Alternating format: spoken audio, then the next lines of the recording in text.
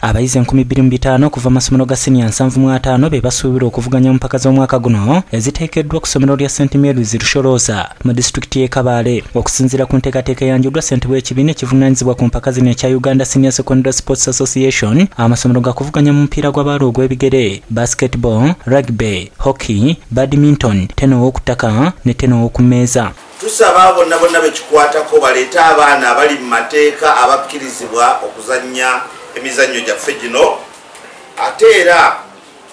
tusuubira ti emizannyo gyaffe gino gijja kutambula bulungi. Amasomero gakutandika okutuuka ku ssomero lya st marys lusholoza ekabaale ku lwomukaaga luno ng'ajja emizannyo gyakugibwako akawuwo ku sande nga musanvu omwezi guno. Amasomero asatu aganaasinga mu buli muzannyo gakukiikirira eggwanga mizannyo gy'obuvanjuba bwa afirika egya east africa secondary schools games egigenda okubeera wano mu uganda ku ssomero lya st joseph's college layibi mu disitulikiti y'eggulu